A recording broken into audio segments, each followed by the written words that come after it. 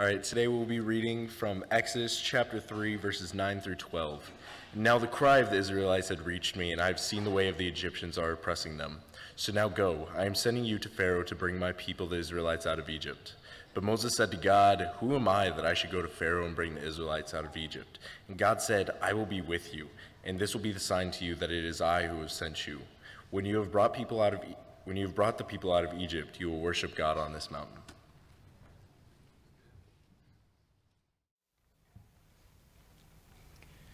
Thank you, Chris. It's great to see everyone today. Being able to worship God's always a great thing, and just being able to be in His presence. We've been talking about God's peace recently and trying to find some ways in which that peace is something that's part of our life and something that we're able to get as well. This is connected with that, but a little bit different. We want to talk about what God being with us means. And so just think with me for a few minutes about what that means to say God's with us. Um, is God with you today? Do you feel like He's here, sitting next to you, watching, reading the notes you're writing, hearing what you say? sometimes that's a good thing, sometimes not such a good thing. When a child goes into a dark room, it's either turn on the light or come with me, right? I want some to come with me. Because if you're with me, I'm not afraid because I know you'll take care of whoever it is. And so that's one of the things that we do. What does it mean to be with somebody? Children always want a parent with them. We don't think we can do things alone. If you look around when you go to a restaurant, there are few people who go out to eat by themselves. Why is that? Well, they usually want someone to come with them. And if someone asks you to come with them to dinner, what, what does that mean? What are they expecting? Is that just dinner? Do you have to talk to them? Do you have to have any conversation at all? Or is it just, okay, well, I'll bring a fork and uh, we can all just eat? Or if you invite them to go camping, what does that mean? You invite them to go fishing, does that mean you're going to have fish for dinner? If you stop at the store on the way back, if someone goes to court, who do you want with you? Maybe someone who's there who knows what's going on. What about in the hospital? Do you want somebody with you? What about when you're sick at home? Sometimes it's good to have somebody with you, right? That can go get you all the things that you want. And so we want to look a little bit today about what this means to have somebody with us because I think that's a big part of our world. We think about this. There is a time when God decided, I'm going to be with my people. Uh, that time was in the Exodus. The people had been taken down into Egypt, they become captives down in Egypt. They were rescued. Moses was born, and uh, he was born as a captive down in Egypt. He was rescued by a princess. He grew up in the palace. He was educated. He knew all of the things about their government and about the way in which it worked. And now he's watching sheep in the wilderness. And by Exodus 3, we find God appears to him in a burning bush. It was a burning bush. I know sometimes we get the little. I think God in a burning bush is a, it's got to be an awesome sight to see God in a burning bush. He was off watching sheep in the wilderness, having given up his career in the government and having run away, and God speaks to him out of that bush. And he says, I've seen all the affliction of the people and I want to deliver them. And so I'm going to send you back to Egypt. And I want you to go and, and deliver my people from Egypt. Well, by this time, they had gone down as one huge family, about 70 people, and now they're 100,000 up to 2 million people. Just think about how many's coming to your house for Christmas and multiply by, yeah, 10 million. That's a lot of people.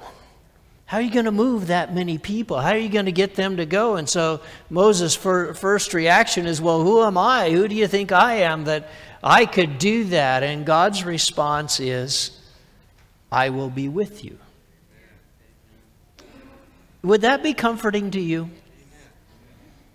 I mean, if he just said, I'll be with you, okay, well, why didn't I think of that before? If you'll be with me, then everything is perfect, everything is fine, right?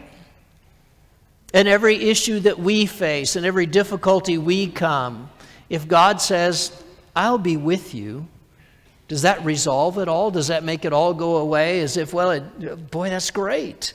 I don't have any worry or any issue then if you're going to be with me. And so when we think about that, what does that really mean to say God is with you? That's the perfect answer. But is that a comfort? Moses had to take the same promises to Israel. Don't worry, it's going to be fine. We want to go out in the desert. We're going to camp. We want to worship God for a little bit. Finally, they end up leaving Egypt through plagues, if you're familiar with the story. And God humbles one of the mightiest nations on the earth at the time, and he destroys them. That's what he meant. I will be with you. So we will be able to leave. We will be able to go out of this place. And when they get out to Mount Sinai, they make camp. And he had given them instructions at Mount Sinai of exactly how to build a place to worship him. And he puts the place to worship them in exactly the center of the camp. If you think about that, what he was trying to do and trying to say is, I said I will be with you. And so everybody is right around here. All of the tribes were gathered right around the tabernacle. And inside of that tabernacle is the open view of the tabernacle where only the priests were able to go. And so, if you were in kindergarten or first grade, you got this lesson upstairs this morning.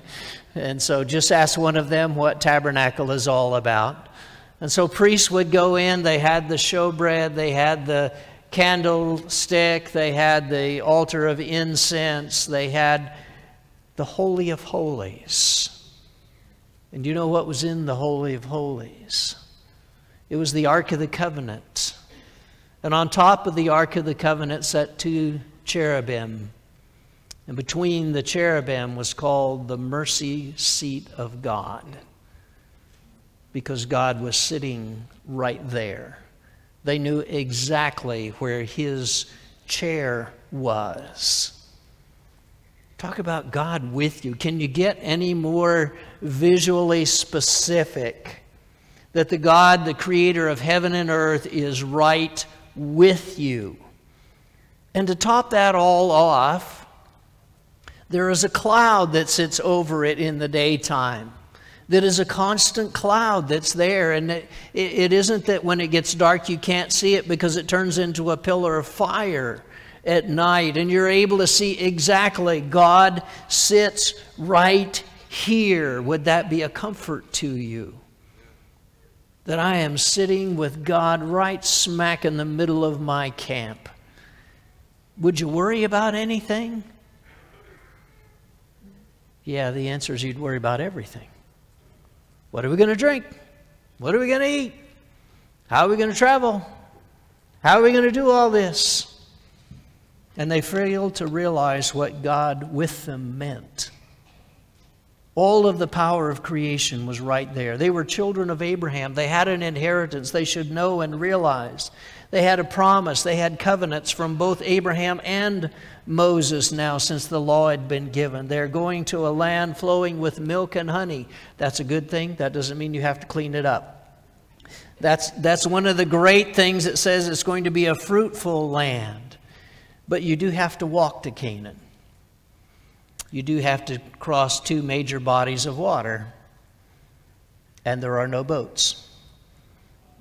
Just so you know, is that a good thing? God says, Don't worry, I'll be with you. And there are going to be enemies on the way. And there's going to be very limited things to eat. In fact, you get manna and you get quail, and there will be some water. And you're going to have to fight battles because there are these enemies that come. And when you get to the promised land, don't worry, I give you the promised land. But you do have to fight the battle in order to claim your part of it. And they must obey God, and they must treat Him as holy, and they must not sin. All of that's what it means to have God with them. It's very much like Adam in the presence of God in that Garden of Eden, but when he sinned, he's put away from the presence of God. He's not with him anymore, he's outside, and so Israel would be as well. So they're on a journey with the people of God. What do you think? Does God with us mean anything for us today?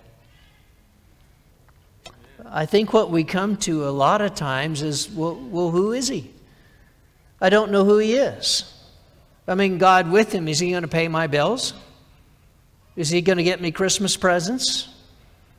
Is God going to take care of me? And what is it exactly that he's going to do for me? And we come up with some things like that that says, well, you know, if he's not going to do those, I'm not sure I really think God's with me. But God is an eternal goodness, a purity and love, and He is a person who is there, who is always with us, and we can see and hear and feel that God is in our presence and that we are in His, and that He has a plan and that things are going to be done His way. And He has told us what the plan is. That's always a good thing. He tells us exactly what it is. And ultimately, He wants us to be mature and for us to be grown up, for us not to be just little children, but for us to be able to be with Him. In order to do that, we need to be free from sin. And so we need to get past our sin, repent of our past mistakes, and we are able to become holy like God. And so, what does that mean? Well, that means there's limitations. So we have limitations, maybe the same way Israel had limitations. Well, no, I thought God with me meant He's going to take care of me, He's going to do everything for me. God will bless, but it's not the easy way. It's fairly simple, but it isn't easy. People don't think God is with them because they want an easy God. I want God to uh, make everything fine and wonderful. I want God to straighten out all the relationships that I have. And so we begin to develop this false concept of God and of who I really want is God. Why doesn't God make life easy? After all, we pray to Him to fix things, right? We pray to Him about health. We pray to Him about sickness. We pray to Him to heal things. We pray when we have problems sometimes the problems we caused ourselves, but we pray to Him about problems and God fixes those. And if we don't have a God who fixes those, who gives me money, who pays me rent, who gives me Christmas, I'm not sure I believe in God anymore, right? No, I think we've missed the point. We don't know who God is because that isn't God. And what we would do from that point is develop false gods. Ones that are not really God, but maybe it's the God we wish. And so it's little g gods, right? And that's what they did back then. They said, well, you know, what I need is more crops to sell so I can get more money. And so my crops need sunshine, so I'll pray to the sunshine God and to the rain God so that now I'll have more money to be able to get what I want. And so they did all of these things in order to make false gods, and we exchange the true God for something that'll make me rich and something that'll provide. We want a God of luck, we want a God of fortune, and we don't always see it. Israel came up with this one. Israel came up with a golden calf. And they could dance and they could party like there was no tomorrow because literally there was no tomorrow. Moses came back and took down their God and ground it up and made them drink it. That's how big your God is. Well, but we wanted a party, and that God let us party. And your God doesn't let us party. So we want the party God.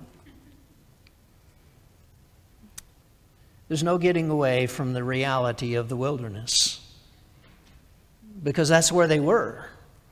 That's where God had led them. That's where He was taking them. And He took them out into the desert and said, I'm bringing you to a better place, to a new land. It's going to be great. It's going to be wonderful.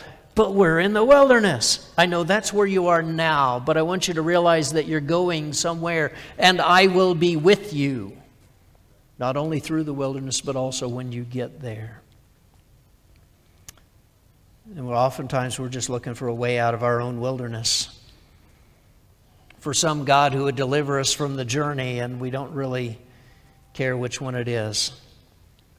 What matters most, however, is who you're with in the wilderness. It's better to be lucky. How many times have you heard that? Better to be lucky than good. That's the motto in golf. Because I'm not good. okay. So the only hope I've got is luck. but is that really what we want to live by? Is that really the God we want to serve? That it's better to be lucky than God? There's luck comes in two forms, good and bad. So there are good luck things and Sometimes it's bad luck things, and we all understand how this works between good and bad. It's 50 50, right? And so half the luck is good, half the luck is bad, and we have the odds of being able to get 50 50. Well, that is until you actually start counting it. And my luck never turns out 50 50, neither does anyone else's, because there is no such thing as even, as perfect. Not even flipping coins, you are not going to hit 50 50. It's one of those odd things, but we always believe that. We think it'll be true. Life balances, doesn't it? Not even mathematically. It does not. There is a randomness about it that is just one of those things we cannot explain. And so we start counting and hoping for our 50 to come around. Some things they do not tell you about luck. No one lucky ever lives forever. Luck always runs out. Luck is never permanent, even if it's good for a while. And luck is sometimes against other people. There are winners and losers, right? And so my 50 is when I'm the winner, and well, I didn't want you to not have yours. But that's what it means to be lucky, is that somebody's going to lose to me. And that's what we want as our God. For now we win. There's the God of one more chance. I'll get it right next time. I know I messed it up this time, but I'll get it right next time. Next time it'll be better. I need a chance to start over and I would be good. If I could just, just get back to the beginning and just start over again, I would do it all right because I have so much experience now. I know that it would work. And we're never able to do it right again because there were reasons why it didn't turn out that way. One chance to start over turns into one more chance to start over, and one more, and one more, and more, one more. And then there's the main one I think we use. That's the God of the fairy tale. We may have started out poor, but soon it's going to change, right? Life will get better. That's what we tell ourselves. Next year will be better. This is only 2019. We've got a 2020 coming up. Next year's going to be better because that's the fairy tale. It always turns out that way. Every single fairy tale turns that way. And we soon we get our big break and we get our happy life and when the big break comes, it's always while you're still young, by the way. Watch any cartoon or Disney you want, it always happens while you're still young.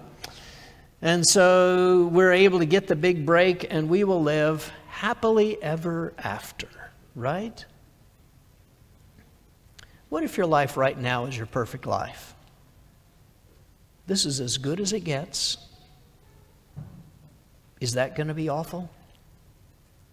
Would you be happy? We want to be a prince on a white horse.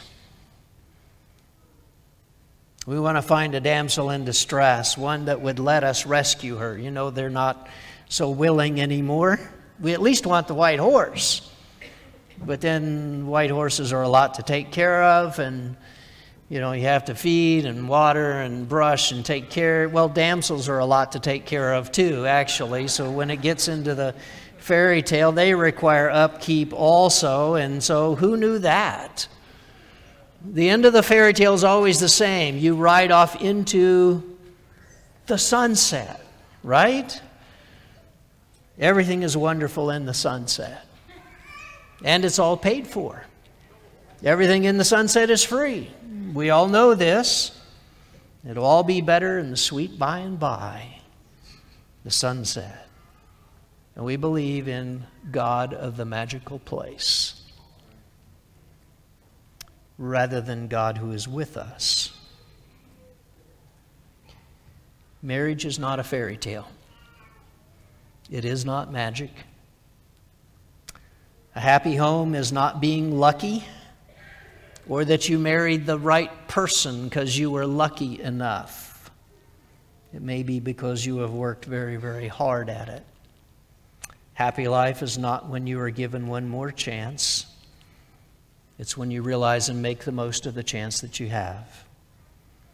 No amount of luck or chance or power will fix the world and make it your way. And neither will God. After all, He created it, He wants it to be His way. And there is the major difference between us. We want to make our own God because I want the world to go my way. invent you one because I'm not sure how else it's going to happen. But I want you to listen to what the description is about our God and about how it worked when Jesus came. Because it is very different than all of those. And in John chapter 1, he's just giving you the introduction to here's what he was looking for as Jesus came. The Apostle John writes, The true light, which gives light to everyone, was coming into the world, and he was in the world. The world was made through him, yet the world did not know him. He came to his own, and his own people did not receive him. But to all who did receive him, who believed in his name, he gave the right to become children of God, who are born not of blood, nor of the will of the flesh, nor of the will of man, but of God. The true light of enlightenment came to the world in a world that he owned, in a world that he made, in a world that belonged to him. And the world said, We don't like you. We won't accept you. We don't want you because you're not making the world about us. And so his own people didn't receive him. After thousands of years of prophecy, they didn't receive him. They didn't even know that it was him that they were looking for, even though they were still looking. They just kind of looked over the top of him. Well, yeah, not you. We're looking for somebody who makes our life perfect. Some did believe and they realized there was something different there. It wasn't even on the same plane or even in the same ballpark as what they had been thinking of before when they were trying to think riches will make me happy. But he gave them the right to become children of God.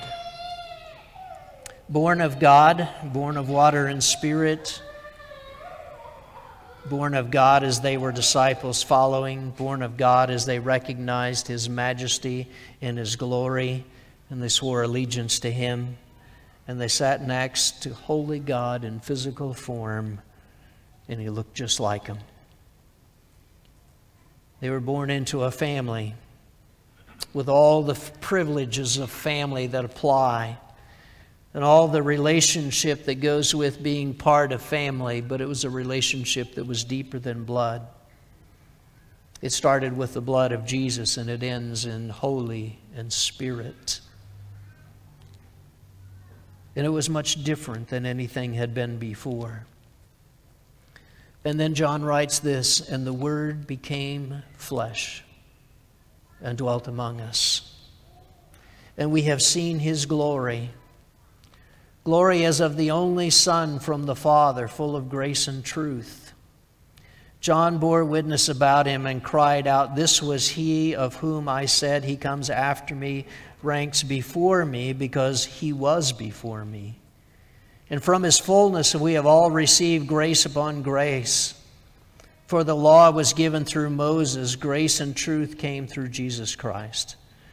No one has ever seen God, the only God who is at the Father's side. He has made him known.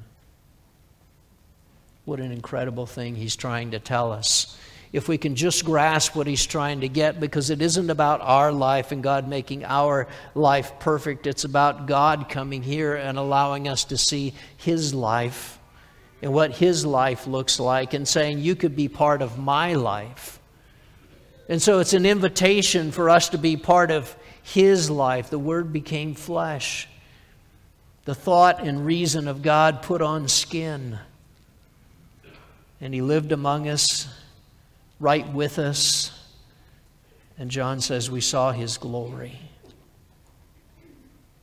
like the Son of the Father, full of grace and truth. Well, uh, did he have a halo? I mean, that's what you see in all the pictures, right? That means he kind of had this little glow on the back of his head, like a cowlick that you can't quite get to stay down. Is that what it means? You ever had a friend that you just loved? I mean, they are just a fantastic person. They just are. And you don't know why, but there's just something about them. And you like to be around them all the time. You like to be there with them. You like to talk to them. You like to do things with them. If you're really lucky, that person you get to marry. That's even better. But there's people that we just, there's something special about them. And I think that's who Jesus was. And it's not that they straighten out everything in your life, but somehow you feel better just because you're around them. And none of the problems went away, and there were no powers and no miracles and no magic things, but you felt more like you. It's called grace. And they were always honest with you. And sometimes you wish they weren't so honest with you, but they were always honest with you, and they would tell you exactly what they thought and not what you wanted to hear, but they would give you exactly what the right answer was. So sometimes they straightened you out, and sometimes you realize they're just being truthful. And so grace and truth came through Jesus. His forgiveness is no fairy tale, it was real. His forgiveness is not just lucky that someone forgot your sin, it is permanent and it is forever. And we don't need one more chance to get it right. He says, No, you failed enough. Let me just forgive it and let's go on from here. It's not even a do over. You don't even have to repeat it. We're just going to go to the next stage and I'm going to accept whatever you had and call it good. No one has ever seen God, but He was with us. You see, there's no question that Jesus was loved by God. And you see his life being blessed so much as he comes and lives in very difficult circumstance, in a very difficult childhood, in a very difficult ministry. And all of those things are difficult, and yet you have no question that God is with him and empowering him and there present in his life and he is following the plan of God and he operates and works and thinks and talks on God's initiative. And all of those things are what God would do and God would have him do.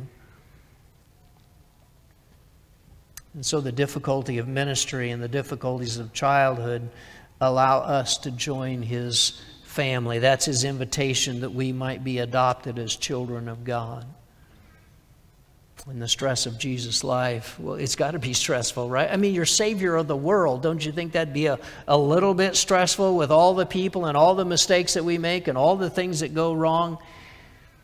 And He does it with grace and truth.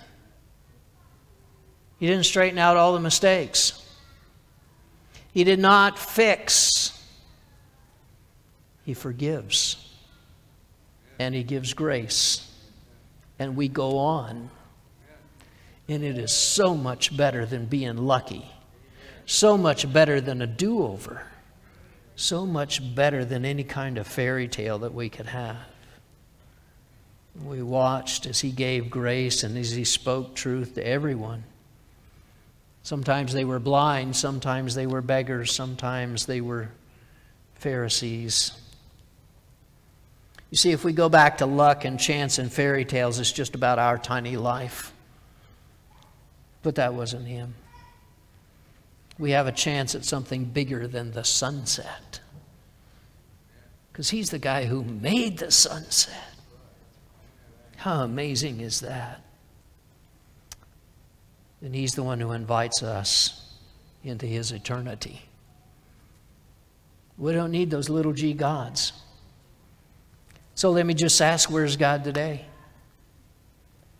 Well, he's here. That's why you came, right? To be able to meet him here. And I don't need more luck. And life is hard enough, but you know what? He just says, ah, we'll just go on from here. Because it's called forgiveness and it's called grace. And he'll be honest with me about what I need to fix. Do you want a life with him? Do you, do you already have this life with him? It starts when we give up our own will and our own fairy tale and our own chance and say, I want to be part of your life, God. I don't want you to fix mine anymore. I'm going to give up mine for yours. We repent of our sins and we're baptized into Christ to become one part with Him and we join together in worship to Him. I'm not sure that all happens without this worship that you're sitting in this morning.